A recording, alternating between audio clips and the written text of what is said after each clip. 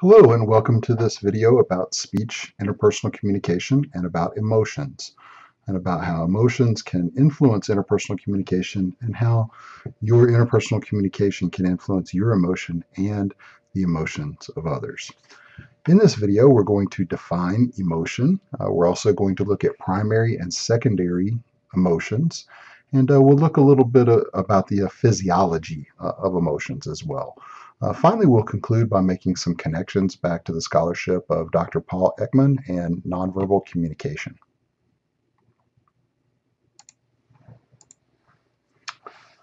According to our text, emotions are physiological, behavioral, and or communicative reactions to stimuli that are cognitively processed and experienced as emotional.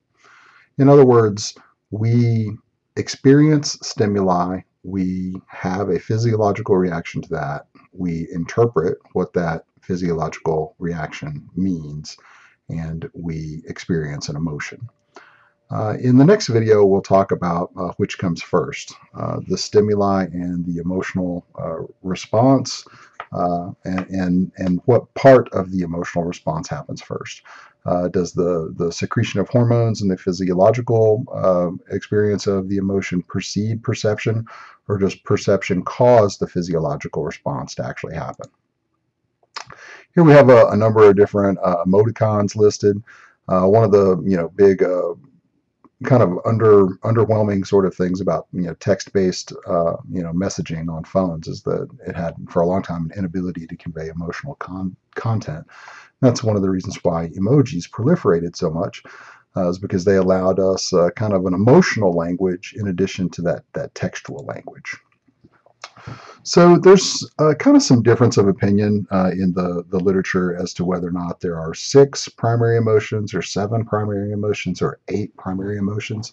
This particular graphic lists off six uh, primary emotions. And for the most part, that's in agreement uh, with our text uh, which indicates that we experience joy, distress, anger, fear, surprise, and disgust.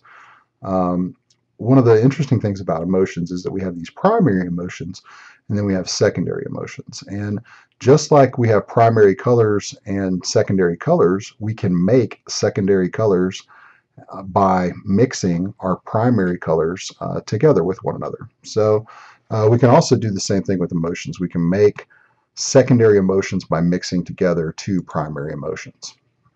So one of the behavioral scientists who believes that emotions, uh, that there's eight underlying basic uh, emotions is uh, Plutchik. And uh, Plutchik indicates that it's fear, surprise, disgust, anger, sadness, anticipation, joy, and acceptance, which are the eight universal emotional states of humans. Now, one of the interesting things about Plutchik's model is that it allows for us to kind of see what some of those, you know, kind of com combinations, some of those mixed emotions uh, actually are. And uh, according to Plutchik's model, uh, things like love is literally a mixed emotion between joy and trust.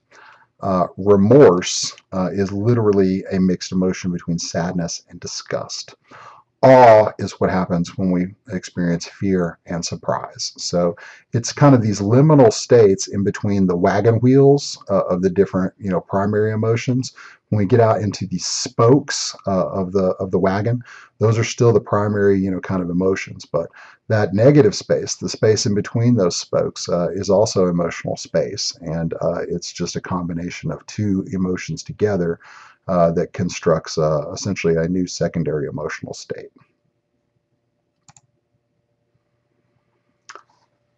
So now that we've talked about emotions and uh, we've described emotions and we've talked about primary and secondary emotions, let's discuss uh, very quickly about how we physiologically experience emotions. And uh, we have two kind of nervous systems uh, at play here. We have a sympathetic nervous system and uh, we have a parasympathetic nervous system.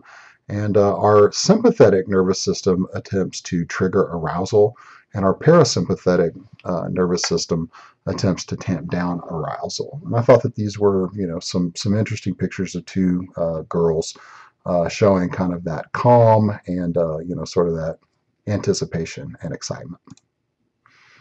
This graphic uh, talks about, you know, the different responses in a little bit more detail.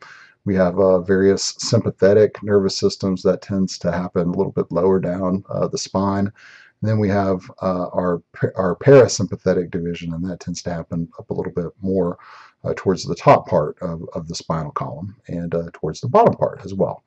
So we have various different parts of endocrine systems and various different parts of digestive systems, of, of all kinds of other systems, respiratory systems, uh, which are involved in the production of emotion and uh, how we look at uh, the world around us. So uh, each one of these nervous systems, uh, which are part of our you know central nervous system, uh, are responsible in, in some regard for how we experience emotions. There was uh, an interesting study done in 2013 by uh, several Finnish researchers, and uh, they asked a, uh, a, sample of around uh, 701 uh, Taiwanese and Scandinavian men and women to look at some some different emotions, and they they flashed words like anger or you know, feared or disgust uh, across a screen, and then they asked uh, the the participants in the study to point out the places where they physiologically experienced uh, that emotion, and that could be a tingling sensation, that could be uh, a, um, a, neurological, you know, stimuli, uh, that could be uh, nerves. that could be an increase in circulation or blood flow to an area uh, but more or less just where do you feel you know these different emotions and uh, the uh, the product of essentially you know all of those the correlations uh, that were arrived at after you know those 701 people uh, input their data was that we experience emotions basically uh, in a manner consistent with this this visual aid here or with this graphic. Um, we have a, a lot of either head or torso action uh, or uh, potentially, you know, we have a, a, gut feeling, you know, sometimes about things as well. Uh, we can also, you know, have a stimulated, you know, sort of response uh, in our in our uh, genital area uh, or in our extremities, as in the hands or the feet. you notice too in anger, you know, how much the the fists, you know, are, are kind of lit up as an activity center. So uh, I think all of those things, you know, really indicate, you know, kind of activity or, you know, where emotions uh, are, are felt. And uh, I think that it's a great first start, uh, first step uh, to, you know, parsing out, you know, some more of these emotions. Um, obviously, we experience those emotions in a number of different ways. It can be elevated heart rate. It can be, um, you know, skin uh, transference and, you know, how, how much uh, oxygen we're taking in uh, through our, our skin, how much uh, you know ability to you know regulate uh, temperature uh, we have uh, in our sweat glands, our um, you know any number of different responses there from the the nervous system or the parasympathetic nervous system can can generate a physiological response to an emotional state. So. Uh, those are you know some really good uh, indicators of, of how you know some of those responses work uh, in uh, the body. And uh, we're going to explore that in a little bit more detail in the next video. Uh, the last uh, image here uh, for this particular video is just kind of a connection back to Paul Ekman's nonverbal microexpressions. Uh, Dr. Ekman indicated that we have universal human uh, microexpressions and universal human uh, facial expressions, and uh, he tested that out uh, by you know looking at a large kind of cross section of humans uh, from three different cultures, and determined that we had several basic nonverbal microexpressions that uh, transcend culture. And uh, for the most part, those you know transcendent kind of microexpressions uh, are really similar to uh, our transcendent emotional states as well.